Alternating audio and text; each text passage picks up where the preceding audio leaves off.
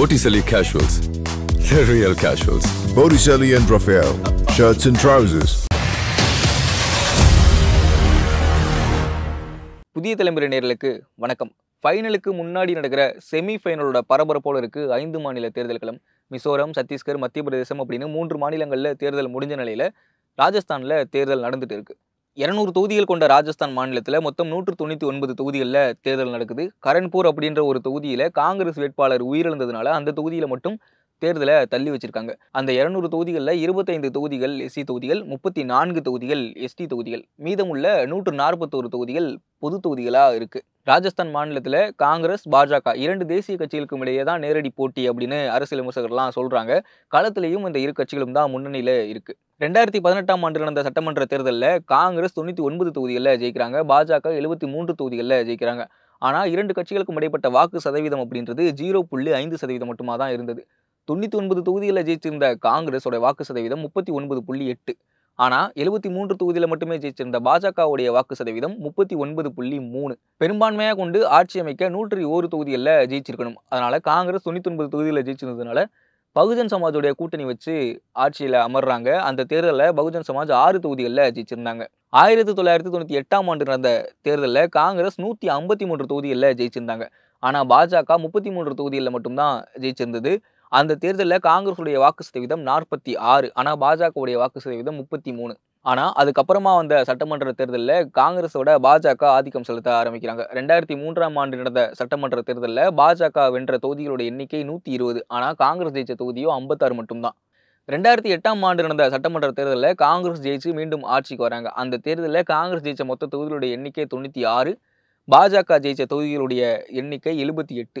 ரெண்டு கட்சிகளுமான வாக்கு வித்தியாசம் அப்படின்னு பார்த்தோம்னா காங்கிரஸ் முப்பத்தி ஆறு புள்ளி எட்டு சதவீத வாக்குகளும் பாஜக முப்பத்தி நான்கு புள்ளி மூன்று சதவீத வாக்குகளும் வாங்கியிருந்தாங்க.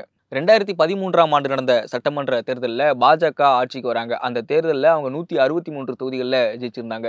ஆட்சியில் இருந்த காங்கிரஸ் கட்சியோ இருபத்தி ஒரு தொகுதிகளில் மட்டும்தான் ஜெயிச்சிருந்தது. பாஜகவுடைய வாக்கு சதவீதம் அப்படின்றது நாற்பத்தி ஆறு சதவீதமாகவும் காங்கிரஸுடைய வாக்கு சதவீதம் முப்பத்தி மூன்று சதவீதமாகவும் தான் இருந்தது. தொண்ணூத்தி எட்டுல நடந்த தேர்தலுக்கு அப்புறமா நான்கு தேர்தல்கள் நடந்திருக்கு. அதுல காங்கிரஸ் ரெண்டு தடவையும் பாஜக ரெண்டு தடவையும் ஜெயிச்சிருக்காங்க. பாஜக நூத்தி இருபது நூத்தி அறுபது அப்படின்னு ஜெயிச்சா காங்கிரஸ் தொண்ணூத்தி ஒன்பது தொண்ணூத்தி ஆறு அப்படின்னு ஜஸ்ட் பாஸ் ஆகி கூட்டணி கட்சிகளுடைய ஆட்சி அமைக்கிறது தான் வழக்கமாக இருந்திருக்கு. அதான் நடைமுறையிலும் இருக்குது இந்த சூழலை ராஜஸ்தானில் இருக்கிற அரசியல் விமர்சகர்கள் என்ன சொல்கிறாங்க அப்படின்னா காங்கிரஸுக்கு தான் பாஜகவுடைய எதிர்ப்பு வாக்குகள் வேணும். ஆனால் பாஜகவுக்கு இருக்கிற வாக்குகளே போதும். காங்கிரஸுடைய எதிர்ப்பார்கள் வந்தால் அவங்களுக்கு கூடுதல் பலம் அவங்க பெரும்பான்மை அமைக்கிறதுக்கு அது ஒரு வாய்ப்பாக இருக்கும் அப்படின்னு தான் சொல்கிறாங்க ராஜஸ்தான் மாநில பாஜகவை பொறுத்தவரை பூத் அளவில் மிகப்பெரிய கட்டமைப்போட அந்த கட்சி செயல்பட்டு இருக்கு. கன்கையால் ஆள் கொலை வழக்கு அப்புறம் பெண்களுக்கு எதிராக மாநிலத்தில் நடந்த சில சம்பவங்கள் இதெல்லாமே அந்த கட்சி தன்னுடைய தேர்தல் பிரச்சாரமாக உபயோகிக்கிறாங்க. அது அந்த கட்சிக்கு உபயோகமாக இருக்கும் அப்படின்னும் அரசியல் விமர்சகர்கள் சொல்றாங்க. இதை தாண்டி தற்போது இருக்கிற காங்கிரஸ் கட்சியுடைய அதிருப்தி வாக்குகளும் அந்த கட்சிக்கு மிக பெரும் பலமாக இருக்கும் அப்படின்னும் சொல்றாங்க. முதல்வர் வேட்பாளரை அறிவிக்காம தான் ராஜஸ்தானில் இருக்கிற பாஜக தேர்தலை சந்திக்குது. அந்த தேர்தலை சந்திக்க பிரதமர் மோடியுடைய முகம் மட்டுமே போதும் அப்படின்ற ஒரு எண்ணத்தில் பாஜகவினர் தேர்தலை சந்திக்கிறாங்க அப்படின்ற ஒரு பேச்சும் அந்த மாநிலத்தில் இருக்குது முன்னாள் முதல்வர் வசுந்தரா ரஜேவிற்கும் பாஜகவில் இருக்கிற மூத்த தலைவராக இருக்கும் தியாகுமாரிக்கும் இடையே இருக்கிற ஒரு பிரச்சனை தான் அந்த கட்சியில் உட்கட்சி பூசலாக மாறி இருக்கு அப்படின்னும் சொல்கிறாங்க பிற கட்சியில் இருக்கிற மாதிரி உட்கட்சி பூசலும் பாஜகவுடைய தேசிய தலைமை வர தலைவலியை ஏற்படுத்தியிருக்கு அப்படின்னு தான் சொல்லணும். அதே நேரத்தில் முன்னாள் முதல்வர் வசுந்தரா ராஜேவுடைய முக்கியத்துவத்தை இந்த தேர்தலில் பாஜகவுடைய தேசிய தலைமை குறைச்சிருக்காங்க அப்படின்றதும் ஒரு குறிப்பிடத்தகுந்த விஷயம். பல மாநிலங்களில் நடந்த தேர்தலில் காங்கிரஸோட முன்கூட்டியே வேட்பாளர்களை அறிவித்த பாஜக மத்திய பிரதேசம் ராஜஸ்தான் இரண்டு மாநிலங்களையும் தீவிரமான ஆலோசனைக்கு அப்புறமா தான் வேட்பாளரை அறிவிச்சிருக்காங்க. மத்திய பிரதேசத்தில் அமித்ஷா தலைமையில் பிரச்சாரம் நடந்துச்சு அப்படின்னா ராஜஸ்தானில் பிரதமர் மோடி தலைமையில் பிரச்சாரம் நடக்குது. ஒவ்வொரு வேட்பாளரும் பிரதமர் மோடியே நேரடியாக இன்ட்ராக்ட் ஆகி வேட்பாளர் தேர்ந்தெடுத்திருக்காங்க அப்படின்ற ஒரு தகவலும் இருக்குது இந்த இரண்டு மாநிலங்கள் நடந்த பிரச்சாரங்களில் பல மத்திய அமைச்சர்கள் பல மாநில பாஜக முதல்வர்கள் அப்புறம் பாஜகவுடைய மூத்த தலைவர்கள் அப்படின்னு பலரும் தேர்தல் பிரச்சாரத்தில் ஈடுபட்டாங்க. முழு வீச்சோட பிரச்சாரத்தை மேற்கொண்டாங்க அப்படின்னு தான் சொல்லியாகணும் ஏன்னா இப்போ நடக்கிற சட்டமன்ற தேர்தலில் ஏற்படுற தோல்வி நாடாளுமன்ற தேர்தலையும் எதிரொலிக்கலாம் அப்படின்ற ஒரு காரணத்தினால ஒவ்வொரு அடியையும் பாஜக தேசிய தலைமை பார்த்து பார்த்து எடுத்து வைக்குது அப்படின்னு தான் சொல்லணும். பிரச்சார குழு ஒருங்கிணைப்பு குழு அப்படின்னு எத்தனை குழு இருக்கோ எல்லாத்துலேயுமே பாஜகவுடைய மூத்த தலைவர்களை வச்சு தான் தேர்தலை சந்திக்கிறாங்க. பாஜகவுடைய தேர்தல் வாக்குறுதிகளில் பெண்களுக்கு எதிராக நடக்கிற குற்றங்களை குறைக்கணும் அப்புறம் வந்து தேர்வுத்தாள் கசிவு விவகாரத்தில் குற்றவாளிகளை கண்டுபிடிச்சு கொடுக்கணும் அப்படின்ற ஒரு சில முக்கியமான வாக்குறுதிகளும் இடம்பெற்றிருக்கு.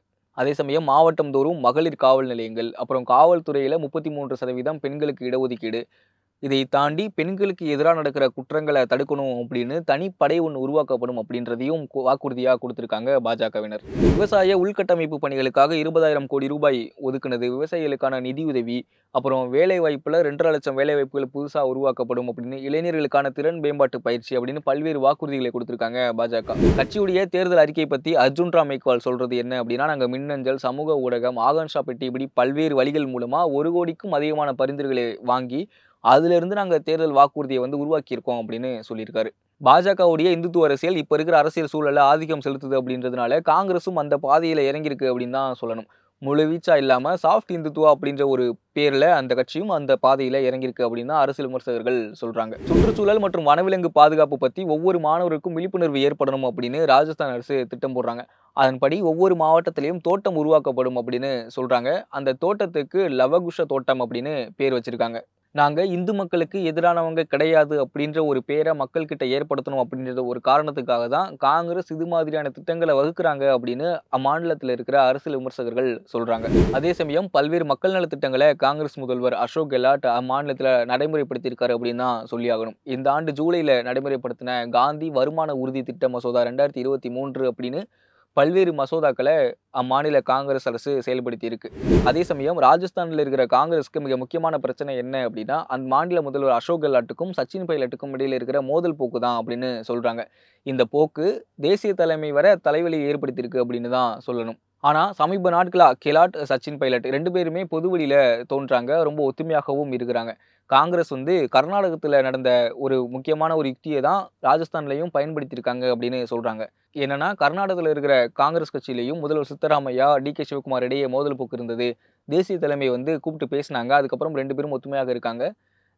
சித்தராமையாவுக்கு முதல்வர் பதவியும் டி. கே. சிவகுமாருக்கு துணை முதல்வர் பதவியும் கொடுத்துருக்காங்க. அந்த மாதிரி இங்கேயும் பேச்சுவார்த்தை நடத்தியிருக்காங்க. அதனால தான் ரெண்டு பேரும் ஒத்துமையாக இருக்காங்க அப்படின்னும் சொல்கிறாங்க அந்த மாநிலத்தில் காங்கிரஸ் தன்னுடைய மக்கள் நலத்திட்டங்களை முன் வச்சு தான் தேர்தலை சந்திக்கிறாங்க. இது வரைக்கும் நாங்கள் என்னெல்லாம் கொண்டு வந்திருக்கோம் நாங்கள் அடுத்த ஆட்சிக்கு வந்தால் இதையெல்லாம் நடைமுறைப்படுத்துவோம் அப்படின்றது ஒரு முக்கியமான வாக்குறுதியாக இருக்குது காங்கிரஸ் மீண்டும் ஆட்சிக்கு வந்தால் ஏழு முக்கியமான வாக்குறுதிகள் நிறைவேற்றப்படும் அப்படின்னு அந்த மாநிலத்துடைய முதல்வர் அசோக் கெலாட் சொல்லியிருக்காரு.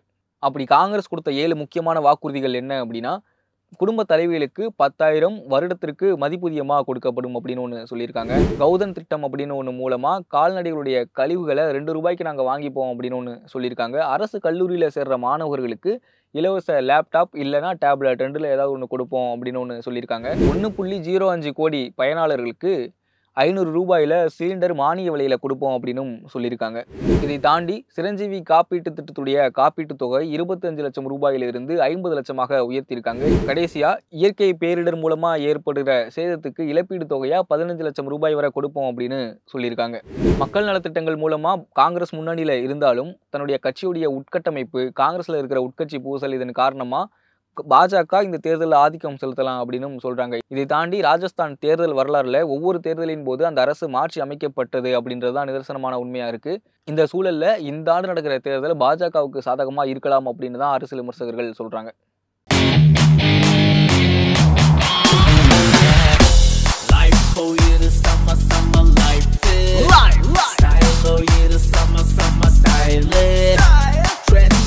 the summer, summer Botticelli Casuals. The real casuals. Botticelli and Raphael. Shirts and trousers.